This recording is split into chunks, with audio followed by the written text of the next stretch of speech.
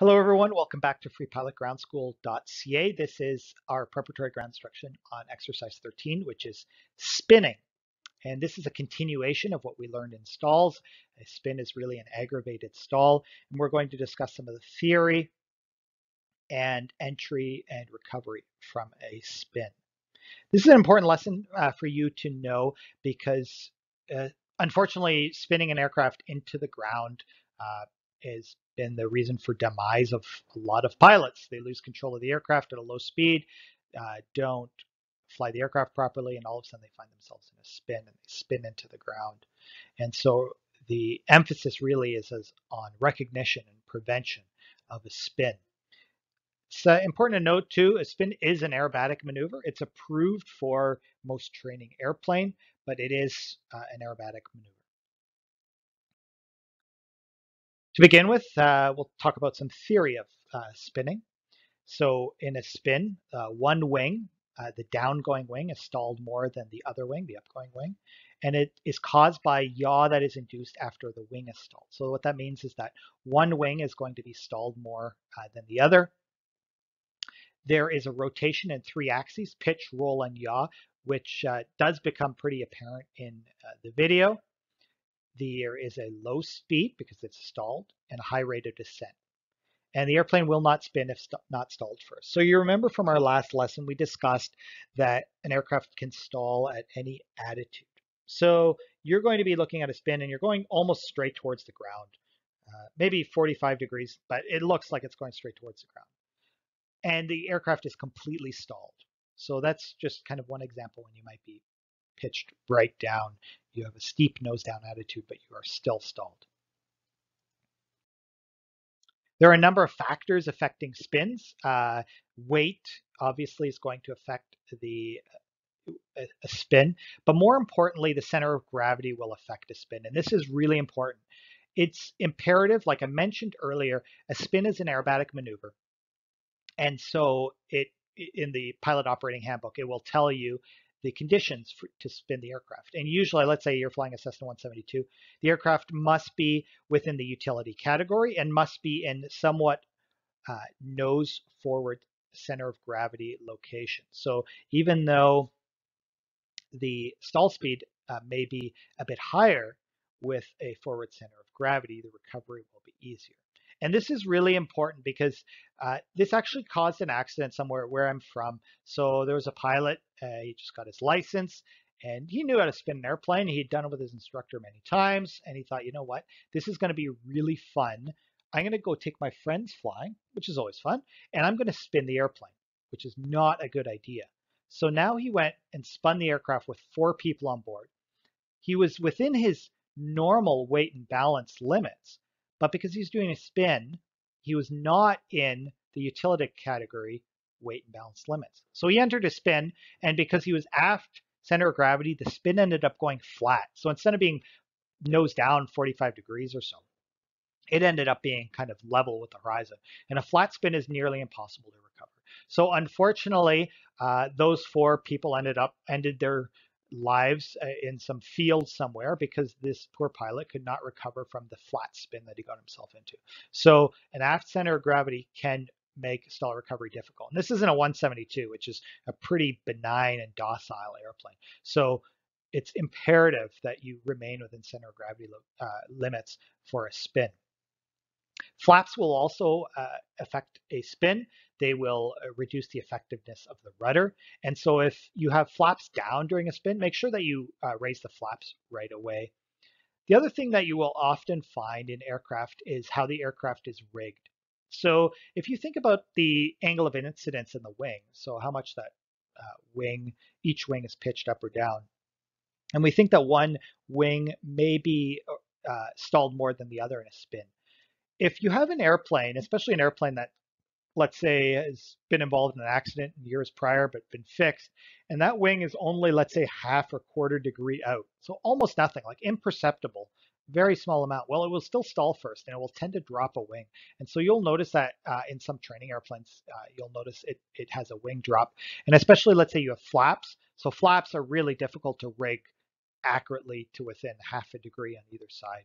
And so often you'll have a wing drop if you do a stall uh, with flaps down. So you just have to be uh, really aware of that.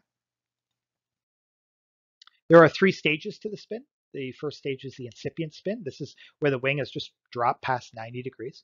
The fully developed spin is auto rotation. You could let go of the controls and the aircraft will continue uh, to spin. And then last uh, stage of the spin is the recovery. This plane stopped spinning. The wing is now producing lift, and uh, you might still be heading straight towards the ground, but at least you're not stalled anymore. And at this point, the, the airspeed is rapidly increasing, and you have to recover from the dive. The procedure to enter a spin, we're going to start again with a HASEL check. And here's something that's really important with a HASEL check is security, is making sure that your cargo is secure. Really take a look behind you. Make sure that everything is tied down or is underneath the cargo net. Uh, because this is an aerobatic maneuver, you may induce negative G that you have something heavy, let's say survival equipment or so, or your fire extinguisher is not uh, secure, and all of a sudden it comes up and flies, hits you in the back of the head. Well, it's going to be a bad day for you. So to enter a spin, your HASEL check, you're going to reduce power to idle, maintain level flight, so you're going to continue to uh, the, pull the controls back. Don't let the plane descend. And then at stall, you're going to apply full rudder and full back elevator. And again, like we mentioned in the stall uh, lesson, you might have to be a bit aggressive. Let's say at 50 or 55 knots, all of a sudden just full rudder, full back elevator suddenly, uh, and, and, just be a bit aggressive. But again, that's something you'll go over with your instructor. It all depends on the type of aircraft that you fly. Then what you'll notice, the wing will drop and you will enter a spin. To recover, and this has to be memory, power is idle, full opposite rudder, neutralize the elevator, and recover from the dive. And so I'll just touch on this recovering from the dive. It's very possible that in a spin you actually end up inverted at some point. And so this recovery from a dive, you will end up picking up a lot of speed. And so uh, you don't want to overstress the airplane. It, now, if you have a choice of either exceeding the G limits of the aircraft or exceeding the speed limits, you're probably better off exceeding the speed limits a little bit. Uh, but if you do this properly, you shouldn't be exceeding both or either of them. But but you do need to recover from a dive, and it will be quite a dive that you're in. If you have flaps down, inadvertently, you have to make sure that you have you get the flaps up right away too. So let's watch this video, the entry and recovery of a spin. So let's take a to enter a spin, pull the power to idle as if you were doing a power off stall. Attempt to maintain altitude. When you hear the stall warning, abruptly pull the control column fully aft and push left or right rudder to enter the spin.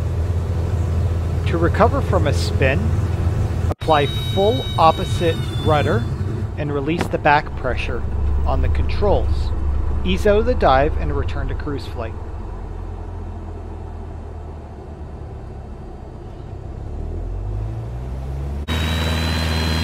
Here's an external view of a spin. You will notice the aircraft is oscillating in all three axes, roll, pitch, and yaw.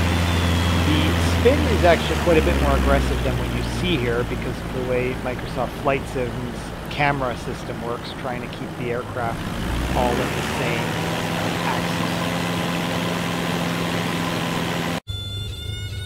This is a demonstration of incipient spin. An incipient spin is just the initial part of a spin. You enter a spin, and as soon as the spin is entered, you abruptly recover.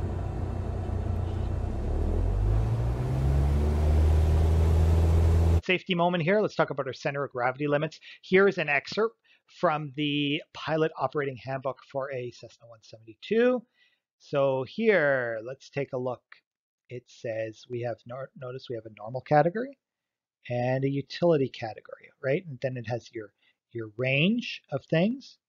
And then uh, let's take a look. Oh, here we go, maneuver spins.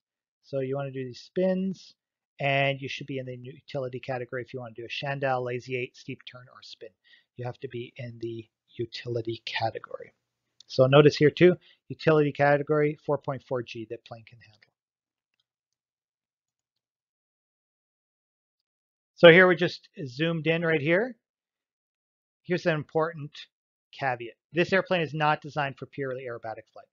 However, the acquisition of various certificates, such as commercial pilot, instrument pilot, and flight instructor, certain maneuvers are required by the FAA. That's in the States.